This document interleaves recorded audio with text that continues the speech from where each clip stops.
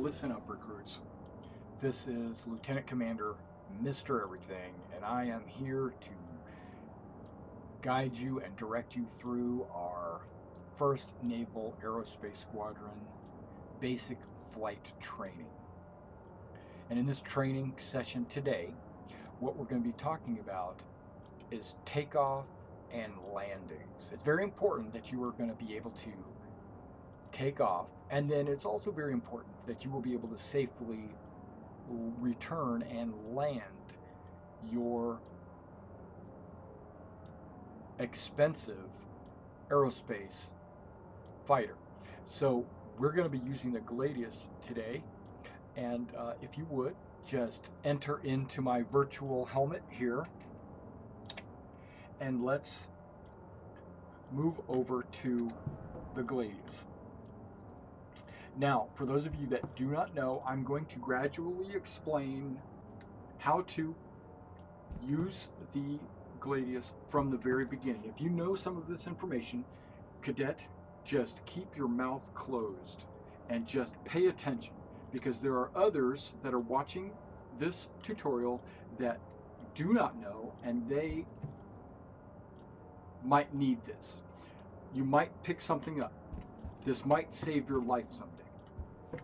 You approach your fighter, wherever your fighter is, every fighter has a way to get into the cockpit. Wouldn't be a very good fighter if you couldn't.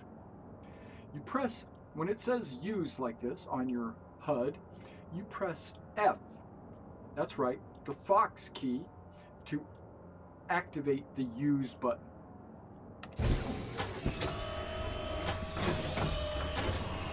As you see, the gear deploys and you enter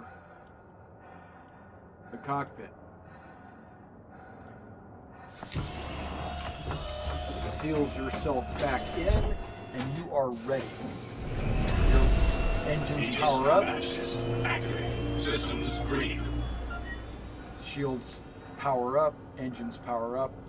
Now we're not going to, in this tutorial here, we're not going to go into energy management that's not important. What we're going to be talking about in this tutorial is how to take off and how to land. In regular flight movement, you have W that will allow you to accelerate. You will it'll increase your thrust. S will slow you back down. A and D will roll you in their respective directions. But to take off, you don't want to just thrust out like you're not a World War II fighter. This is a spacecraft, and it is VTOL, or vertical takeoff and landing. So you would use your up and down thrust, which is R and F. Okay, R and F will let you go up and down. The Q, as in Quebec, and E, as an echo, will move you, strafe you to the left and then to the right. If you want to strafe forward, don't throttle up. Just use Shift W and Shift S. We're going to put that to the test. Now, to ask for takeoff permission, you press the center mouse button, your third mouse button. Landing gear deactivated. And you noticed by pressing my center mouse button, it launched me up into the air. I didn't have to, did not have to hit R to take off. Now, if I go R, you notice I'm going up, and if I hit F, you notice I go down. We'll do a third person view. R and F. Let me get back into the cockpit. Landing mode engaged. Weapon mode engaged. Okay, you can change modes from landing to dogfighting, pressing the N button, the November button. Landing mode engaged. Weapon mode engaged. And you can go back and forth. Landing mode engaged. Weapon mode engaged. Very good. Let's actually throttle up and fly away from this landing. point. Holding the W down, you notice the throttle goes up to 73%. Now it can go higher. You can use S to slow yourself down. You can use W to speed yourself up. Or you can double tap W to go to 100%. Or you can double tap S to drop it to zero. Okay, now using the mouse, I'm just sliding the mouse to the left, or I'm sliding the mouse back to the right, Shields up. and then I put the mouse back, mouse pointer into the center.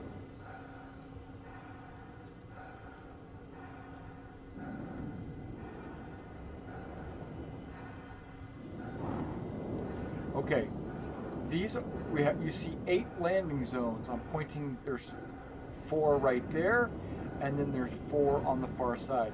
We're going to approach one of these landing zones. We're going to, from this distance, we're going to press N.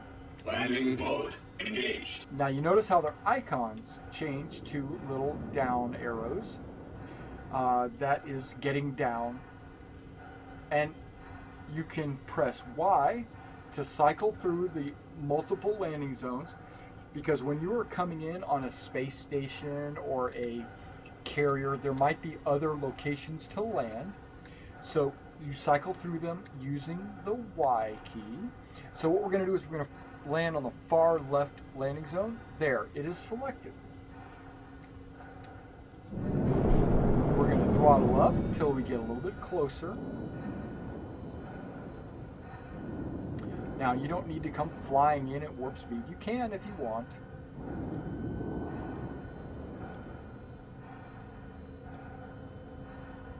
You press the middle mouse button. Now, you can land manually. I'm throttling it down to zero. Landing request approved. When you're close enough, you press the center mouse button to request landing. Now I'm gonna get, I'm gonna fly over.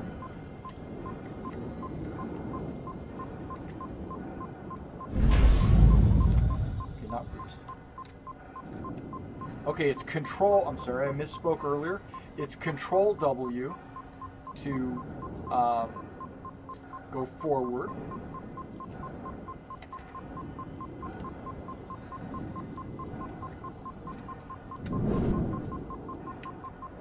I, right now we don't have precision landing, so I am just using it, just tapping it, going a little bit at a time. Landing gear deployed. Now automatic landing took over, and it's landing. Landing complete. Right. If you noticed on your HUD, you saw where it said automatic. It did not say Landing gear retracted. AC deactivated. Okay, so I'm going to go up just a little bit. Pressing N. Landing mode engaged. Landing request approved. AC activated. Landing gear deployed. Manual landing initiated. Okay, I pressed M. Landing gear retracted. I pressed M to turn the automated landing off. So I just have to use F to slowly go down. The landing gear will automatically deploy when I get close.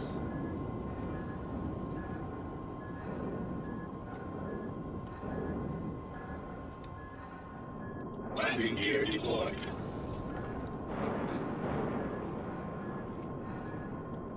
Landing complete. There.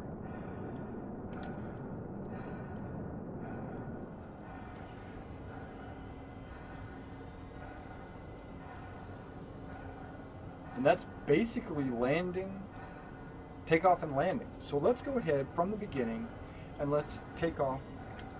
Let's go into combat mode, right?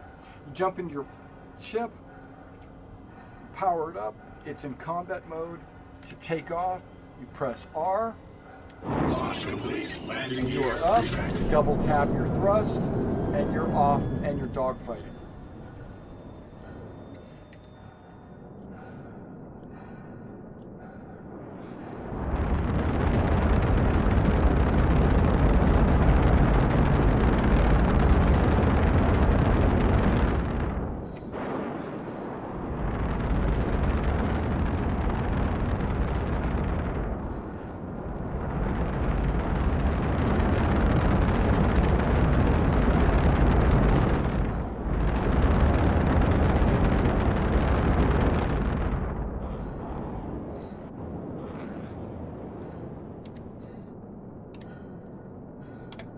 Done and you need to return, you press N to initiate Landing mode. landing mode. You press Y to select the landing pad that you want to use.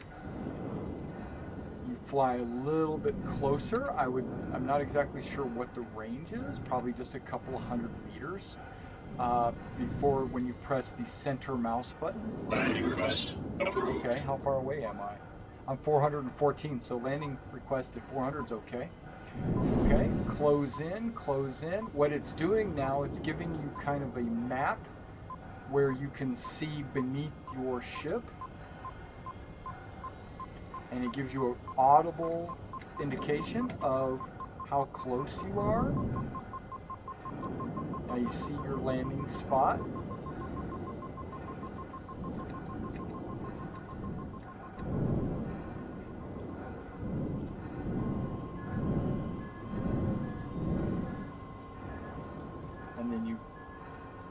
F to go down. Now, if you think that you're catty wampus, like you're on one side or the other, notice how there is a red indicator on the landing disc that shows you that you're not green, that you're not like perfectly lined up. It's showing you that you're going to hit hard on the left or you're going to hit hard on the right. So when it turns perfect, you're going to have kind of, or not exactly perfect, but perfect enough, it's going to turn blue. If I was to nose down, notice how the red in the front. If I nose up, it should be red in the back. So you want that, all those reds to go away and for it to turn blue. There you go. Now we go down. And you just inch it down. It doesn't have to be fast. You don't want it to be fast. You don't want to slam into the dirt. Landing gear deployed. Now it says landing gear deploying. You don't want to hit the deck when it's still deploying. Wait for it to finish deploying and then go down. Landing complete. And then you're down. It's that simple, guys. All right. Now, thank you for coming out and checking out this landing and takeoff tutorial. And I'll see you in the next one.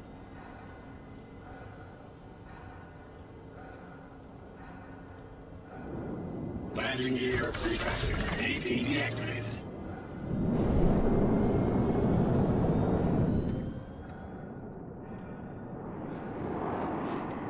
Landing mode engaged.